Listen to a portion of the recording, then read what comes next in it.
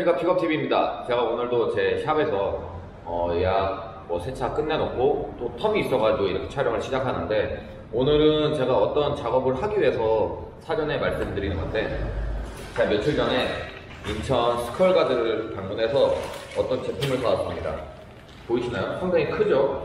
어, 재질, 뭐 슈퍼비 그런 재질 같은데 진공 성형으로 만든 것 같아요. 뒤에 보시면은 양면 테이프를 붙이는 거. 근데 이 양면 테이프를 빼고 3M 거로 사용하시라고 스컬가드 대표님께서 말씀하셨고 보시면은 이렇게 보시면은 이렇게 구멍들이 있어요.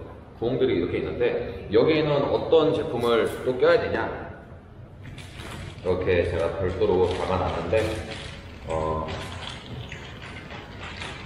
이런 전구를 이 안에다가 장착을 하게 됩니다. 그래서 뭐 스위치 작업을 한 다음에 어 이게 지금 이게 백색 등이거든요. 보시면은 아시겠지만 그 LED고요. 백색 등인데 이 상태로 차에 사용하려면은 쉽게 말해서 눈, 눈뽕을 놓을 수 있단 말이에요. 그렇다 보면은 당연히 신고 대상일 거예요. 그래서 아 이걸 어떻게 사용할까 말까 고민을 굉장히 많이 했는데 어, 이런 제 어, 앞에 낄 수 있는 이런 커버가 하나 또 있어요. 옛날에 뭐 우리 꼭, 뭐, 또, 어, 어렸을 때, 뭐 지금도 많이 먹지만 꽃갈콘 같은 이런 게 있는데, 이런 콘이 있는데, 이거를 이렇게 껴주면은, 어, 은은하게 불빛이 나오기 때문에 눈뽕을 피할 수 있다고 합니다. 뭐 이렇게 따지고 보면은, 어, 이 제품만, 단순하게 이 제품만 장착했을 때는, 어, 검사 시에는 문제는 없어요. 하지만, 지금 보시다시피, 이렇게 제품을, 어, 전구를 꽂아가지고 사용을 한다고 하면은 당연히 불법 LED를 부착한 거기 때문에 검사에선 불합격이겠죠. 그런데 검사 시에 평상시에도 이렇게 껴가지고 다니면은 어, LED 뭐 스위치 작업을 하시면은 항상 끄고 켜, 켤 수가 있기 때문에 검사 시에도 문제가 되지 않을까 그런 생각을 해봅니다. 아 여기서 궁금한 점 있으실 거예요. 이 제품은 어디에 장착을 하냐? 저희 보통 렉스턴 스포츠나 칸 보시면은 어, 앞유리, 전면유리 윗부분에 보면은 뭐 제 차량 흰색이니까 흰색 부분이 노출되어 있잖아요. 루프가 천정이 노출이 되어 있기 때문에 그 부분에 붙이는 제품입니다. 제품을 이제 크게 한번 보여드릴게요. 그래서 이 전구 쪽이 앞으로 해서 그래서 보시면 아시겠지만 아래쪽은 라운드 왜 유리 전면 부분이 라운드가 져 있으니까 그리고 윗부분도 약간의 라운드를 넣어서 돼 있고요. 양쪽을 보시면 이렇게 공간이 홈이 이렇게 파여 있는데 이쪽도 마찬가지입니다. 그래서 홈이 이렇게 있는 이유는 배선을 양쪽 중에 뭐 왼쪽으로 빼든 오른쪽으로 빼든 그거는 선택하시면 될 것 같아요. 여기서 아쉬운 게 저로서는 이 제품이 어쨌든 도색이 안 돼 있어가지고 아 이게 아쉬워요. 저는 제 차량 오버핸드나 어떤 제품들을 장착할 때 항상 형태 카톡 황 대표님을 통해 가지고 랩토 도색을 했었단 말이에요. 랩토 라이너 그래가지고 이번에는 제가 이제 샵을 하고 있다 보니까 왔다 갔다 뭐 맡기고 뭐 이러면 작업하는 시간이 너무 오래 걸릴 것 같아요.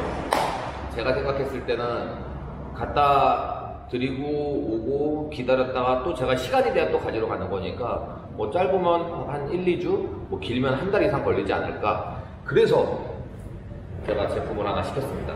어, 네이버에 검색하시면 나와요. 랩토라이너 스프레이. 그래가지고 저도 이렇게 주문을 했고요.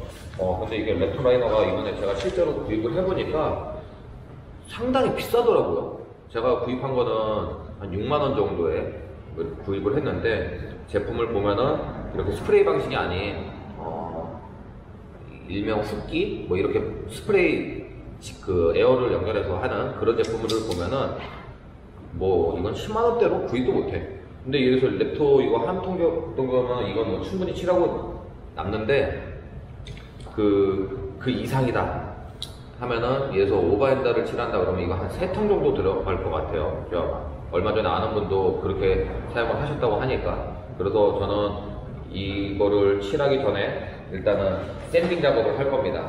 면이 너무 맨질맨질하기 때문에 어쨌든 도색을 해도 나중에 떨어질 확률이 높아요. 그래서 도색이 잘 붙어있기 위해서 프라이머를 칠하면 좋지만 프라이머를 안 칠하고 하기 위해서는 여기 sanding 작업을 할 거니까 그런 작업까지 한번 같이 그 영상 후면에 보여드릴 거고요. 완성되고 나서 제 차량에 장착하는 그리고 장착한 모습까지 제가 보여드릴 테니까 영상 끝까지 지켜봐 주십시오. 기다려주세요.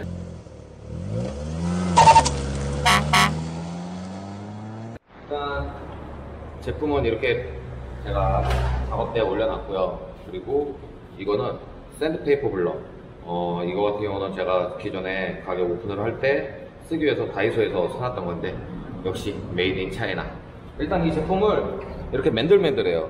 표면을 보시면 아시겠지만 빛이 보이면 반짝이잖아요. 이거를 sanding을 해줄 겁니다. 이렇게 sanding을 해주는 이유는 일단은 아까 말씀드렸다시피 그 도색이 잘 되라고. 그래서 이 작업은 아마 좀 시간이 좀 걸릴 거예요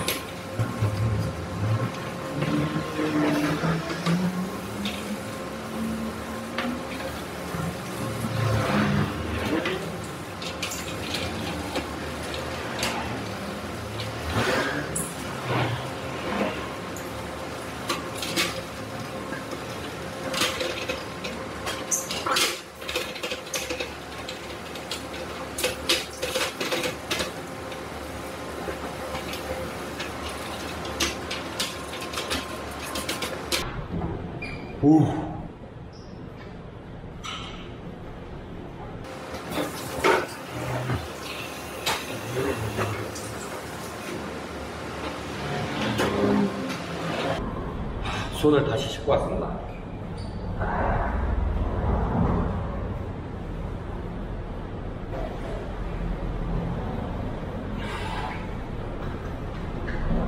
이걸 칠도 해야 되니까 어차피 락, 라텍스를 끼려 그랬거든요. 이렇게 껴주고. 아, 진작에 끼고 할걸.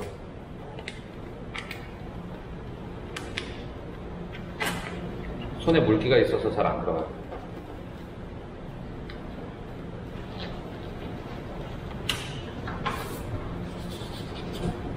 일단 이렇게 샌드 sanding을 하려면은 주의점이 필요한 게 이런 거는 도장을 해야 되잖아요. 도색을 하려고 하는 거잖아요. 그러면은 부드러운 면이 없어야 됩니다. 어 이거 되게 고운 paper 고운 사포여가지고 그 크게 차이는 없지만 그래도 안 갈아진 면이 없어야지 도색이 이쁘게 나온다는 거 참고하시면 좋을 것 같아요.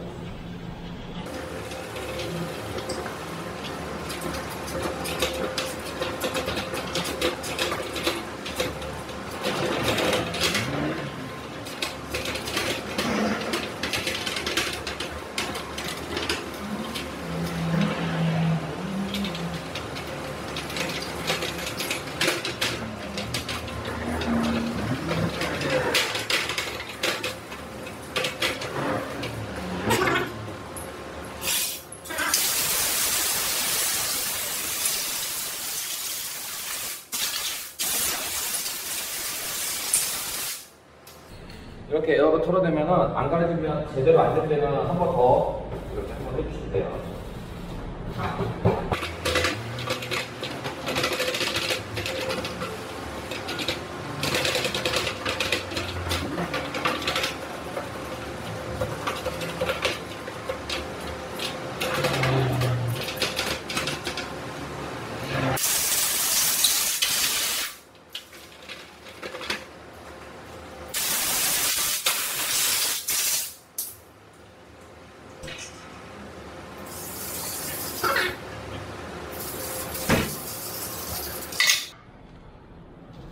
이 제품 같은 경우는 어쨌든 한 번으로 끝내는 건 아닙니다. 제가 봤을 때는 한 세 번 정도 칠할 거거든요. 그래서 어떻게 잘 나오는지 한번 봐야 될 것 같아요. 뭐 락커 스프레이나 이런 제품 사용할 때는 충분히 흔들어줘야 된다는 거. 많이 흔들어봐서 알잖아요, 이거.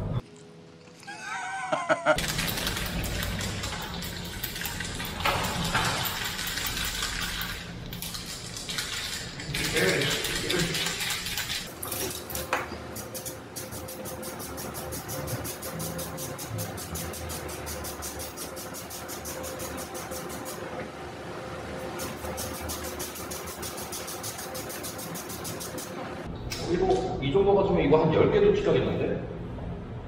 일단 뭐 영상 보시면은 잘 안 나오겠지만 오돌토돌하게 일단 뭐 여기는 아까 제가 처음에 잘못 뿌려가지고 두껍게 칠해졌는데 일단 균일하게 이렇게 뿌려놨습니다.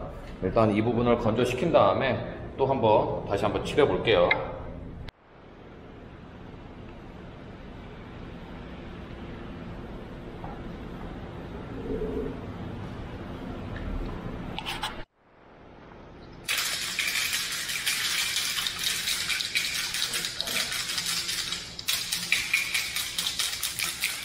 두 번째 칠합니다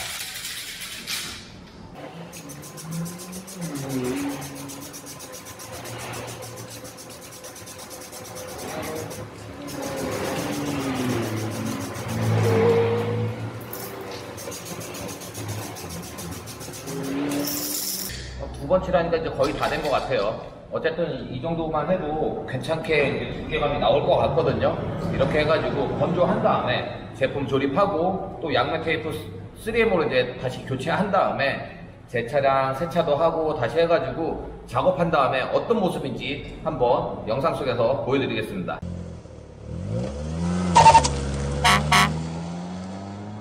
제가 어, 스컬가드에서 주문을 해서 물건을 가져오고 도색하고 또 배선 작업하고 뭐 이런 과정을 거쳐가지고 오늘 드디어 붙였습니다. 자 보이시죠? 스컬가드의 roof 차폭등이에요. roof rack 그 천장에 붙이는. 그래서 저 같은 경우는 제가 직접 이렇게 작업을 했고요. 보시면 아시겠지만 이렇게 공구 다 있으니까. 그래서 좀 이게 이제 이렇게 캡을 씌울 수가 있어서 사실상 눈뽕까지는 안 당하는데 이걸 빼면은 진짜 눈뽕용으로 되죠. 근데 이렇게 캡을 낄 수가 있어서 실질적으로 눈뽕용은 아니고 약간 은은하게 조명이 나오기 때문에 괜찮을 것 같습니다. 그리고 제 차 같은 경우는 항상 roof가 허전했거든요. 이 roof rack 같은 경우도 예전에 카톡에서 도색을 해줘가지고 그나마 이렇게 어, 랩토로 도색을, 도색을 했기 때문에 이렇게 그냥 하는 건데 항상 허전했던 게 이제 천정 부분이었는데 이 부분으로 인해서 그래도 허전함을 좀 달랬습니다. 이거 작업 같은 경우는 그래도 좀 아쉬운 게 있어요. 이 라운드가 조금 더 어, 정확하게 맞았으면 어땠을까? 뭐 지금 옆에서 보면 아시겠지만 약간 삐뚤어요. 저도 붙이는 과정에서. 근데 라운드 자체가 선이 조금 아쉽다는 점 그런 게 있고 그리고 이 부분도 좀 아쉬워서 저는 여기 양쪽에 한 이만큼씩 남아요. 한 1.5cm씩 그렇기 때문에 이 부분은 제가 전기 테이프로 양쪽 다 양쪽 다 이렇게 전기 테이프로 커버는 했습니다. 뭐 아쉬운데 어떡해요. 이렇게라도 해서 하얀 부분을 최대한 가리려고 이렇게 해봤습니다. 어, 뭐 저는 기존에 말씀드렸다시피 이렇게 스위치를 여러 개 작업을 했다 보니까 어, 지금 이제 루프 차폭등 같은 맨 끝에 어, 기존에 11번째 등으로 스위치로 이제 사용을 이렇게 하는 거고 다시 이제 켜면은 이렇게 은은하게 이렇게 작업을 해봤습니다. 어, 저 어저께 같은 경우도 그 저보다 더 구독자가 많은 유리나무님이랑 도킹 해가지고 잠깐 재밌는 시간 보냈는데 어쨌든 픽업TV에서도 어, 제 차량을 이용해서라도 어, 또 다른 업체의 제품을 달아보고 뭐 이런 과정을 계속 담고 있잖아요. 그래서 사실상 DIY 다이 작업 같은 경우도 직접 하고 웬만한 걸 할 줄 아니까 이렇게 해봤는데 이번 영상에서도 어, 좀 재밌었는지 모르겠고 도움이 되셨는지 모르겠습니다. 하지만 픽업TV에서는 늘 말씀드리는 거지만 뭐 수익이 나오면은 진짜 촬영 편집도 직원을 고용해서 하고 싶은데 그것까지는 안 되는 상황이고 지금 뭐 세차장 오픈해가지고 세차장도 지금 영업하는 게 되게 힘든 과정이라 어, 픽업TV 제 채널에 어, 전에보다 조금 소홀한 건 사실입니다만 그래도 최선을 다해서 더 열심히 촬영하고 편집하고 업로드 할 테니까 많은 응원 부탁드리겠습니다. 감사합니다.